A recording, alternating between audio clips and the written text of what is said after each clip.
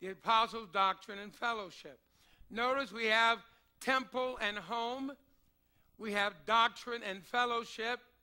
If we'll think about it, what is being shared here is a method that we can have a, a unity that we need together. We need the temple experience and the house to house experience. Are you there with me? I want us to really understand that there is an economy, a system, a structure that God is trying to put in place in the early church that will allow the fire of God to remain moving in his newly started church. And they continued, and they continued, and they continued steadfastly. One, in the apostles' doctrine. Two, the fellowship, fellowship. Then it says, in, I think we're going to talk about fellowship here, in breaking bread and in prayers. Breaking bread and in pairs, prayers. I think this is very important. The fellowship has a food element, a concept of being together in our homes, and it has a prayer element. Look at verse number 43. Then fear, reverential awe came upon every soul, and many wonders and signs were done through the apostles.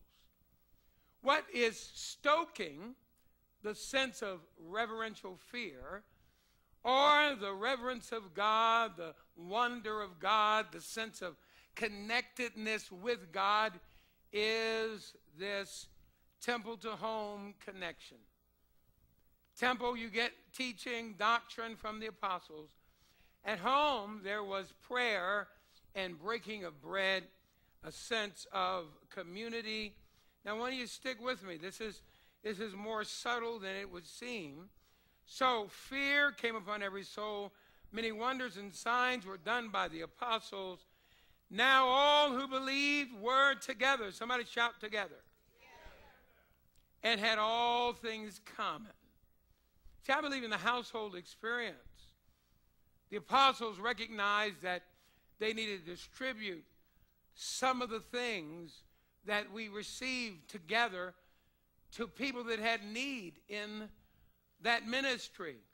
But notice with me, it says that all things in common, goes on in verse 45, and sold their possessions and goods and divided them among all as anyone had need. What kind of goods were they separating and sharing? Why did they say all goods?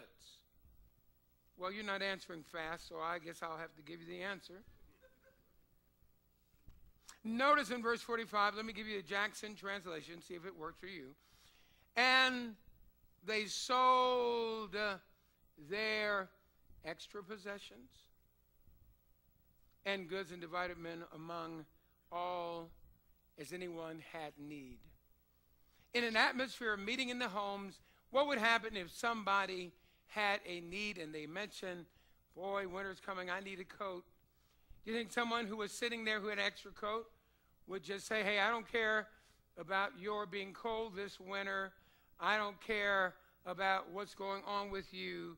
Uh, let's get to the next verse in the Bible study. How many think that would have been the attitude of the folk? They would say, Don't interrupt us with your needs. We don't want to hear about this. We're here for something called koinonia. And that doesn't mean you're a nida. No, I, I think they would have probably said, hey, if there's something I can help you, I've got an older coat. It's, it's not the newest style, but you can have it. You can use it. Am I making any sense? Let me skip ahead. If you can hold your mind in two places at once in the book of Acts. Why is it in the book of Acts, in Acts chapter 5, a guy named Ananias and Sapphira came to church before the apostles? They came to the temple and they said, Hey, we sold our property and we're giving it to the church. Obviously, to distribute among the needy in the church. Why was it that Ananias and Sapphira struck dead by God? Peter didn't strike them dead, God struck them dead. Why in the world would God be upset with Ananias and Sapphira? They lied to the Holy Ghost. How many said you lied? You never lied? No, don't answer that. So if lying was the only thing that kept people from God's blessing and got them struck down in service, I hate to say this, don't take this the wrong way, right? But we would have some folk lined up at the door coming up, up in here and here today. No. Let he who's without sin cast the first stone. But some of you jokers would have dropped out right, coming right across the threshold. I know I'm being silly, but what? So it's not. It must not just be lying that God was dealing with. See, I believe what God was doing was He is creating a culture in the church, and the culture that He wanted to create for the church was a culture of sharing, of connecting, and even to the extent that material things were needed, He was saying, "Hey, I need my people to be of a heart that when their legitimate need comes forth, they're willing to share and to help. But what I'm not going to tolerate this early in the program. Acts number five, maybe around the fifth year of the church's existence.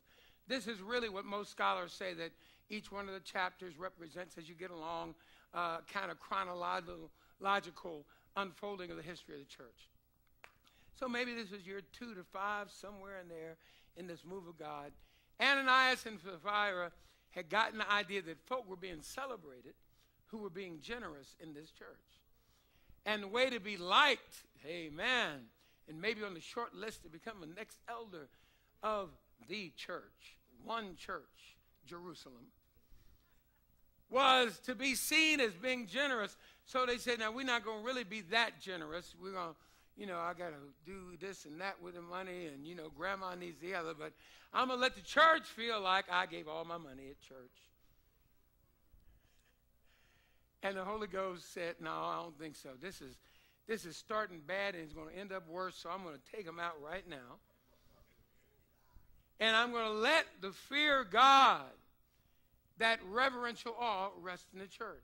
Now, the point is not Ananias and Sapphira died for doing something that some of us do, unfortunately, every day. May we grow in Christ. But the reality is, what's being shown is that what was in the DNA of this fellowship had to be maintained and sustained. And the attitude that people were naturally giving one to another in the homes. That's what verse 44 says. Get all things in common all things in common. Y'all getting this? All things in common. And sold their possessions.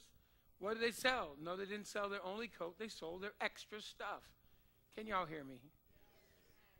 What if we had an atmosphere where everybody took their extra stuff? It was a apostolic strategy. The church felt like they were under pressure, like a minority group that feels like it's being actually uh, persecuted by the majority culture, that's where they were.